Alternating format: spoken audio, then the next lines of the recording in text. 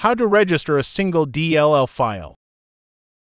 You can use a combination of the regsvr command and a DLL file's name to register the DLL.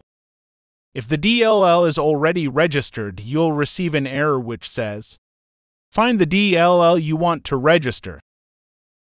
Right-click the DLL file, then click Properties.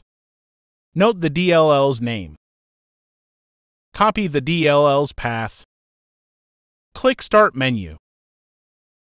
Search for command prompt. Open command prompt in administrator mode. Type in cd and paste in the path to the DLL file and press enter.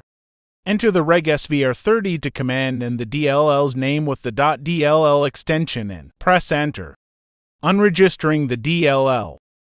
Registering a DLL can fix startup issues for some programs. Thanks for watching video.